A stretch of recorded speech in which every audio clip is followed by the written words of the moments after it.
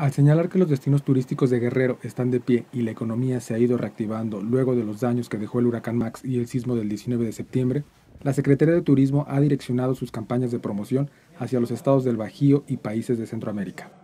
Redireccionamos las acciones y la estrategia turística. O sea, no estamos yendo en este momento a promocionar a los estados afectados. Que sirva esta entrevista también para manifestarles nuestra solidaridad a nuestros hermanos de Morelos, de Puebla, de la Ciudad de México y del Estado de México.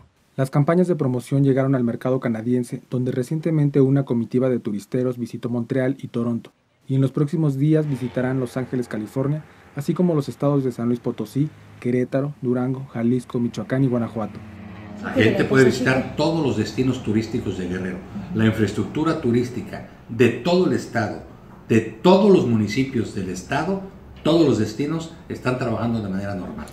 Guerrero turísticamente está de pie, la economía se ha ido reactivando, la muestra está de que no hemos tenido una sola cancelación en ningún congreso, en ningún evento, en ningún crucero y en ningún vuelo. Así es que, repito, turísticamente estamos caminando y estamos caminando bien. Con información e imágenes de Adriana Covarrubias, corresponsal en Guerrero, Notimex.